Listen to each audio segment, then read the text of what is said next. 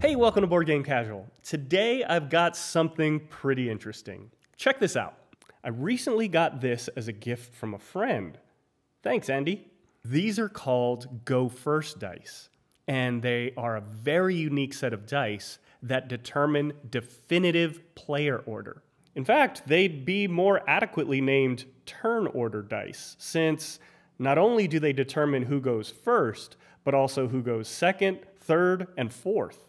If you're like me, you probably keep a pair of d6s handy so that you can roll to see who goes first, particularly if you're playing a game that doesn't explicitly say how to choose the starting player, or worse, has some sort of dumb, arbitrary rule like whoever's birthday falls closest to summer solstice goes first. I really hate those types of rules. And with normal dice, it means passing them around to each player and having everyone roll one by one. In fact, the running joke in my house is how are we going to determine who gets to roll first to decide who goes first? And of course, if there's a tie, then we have to do some sort of roll off. Not to mention, all this rolling is just to determine starting player, and then we just go in clockwise order. These go first dice, on the other hand, are really clever. This is a set of four 12 sided dice, but every number value across the faces is unique. This allows two to four players to each pick a single die, roll them at the same time, and there will never be ties. Because every number value is unique, not only will there never be a tie, but there will always be a definitive turn order for each player.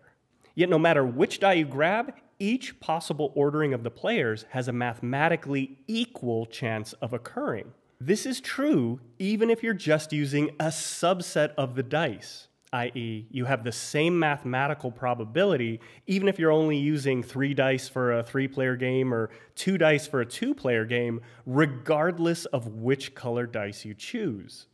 Now, there's some really sophisticated mathematics going on here, and if you're interested in reading more about the design and the math behind these dice, you can check out the write up by one of the designers, Eric Harshbarger, on his site, uh, ericharshbarger.org.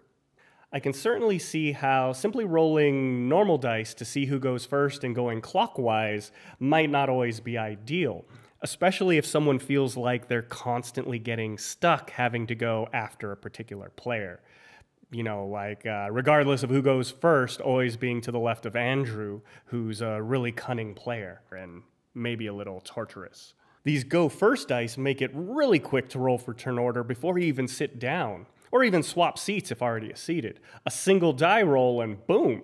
The dice themselves seem to be pretty good quality. The numbers are nice and big, very readable, though I personally would have preferred sharper edges.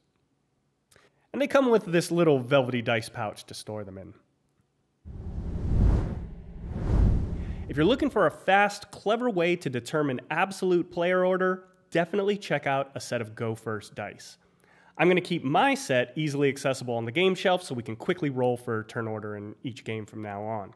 By the way, speaking from experience, these make a pretty cool gift for the board gamer in your life.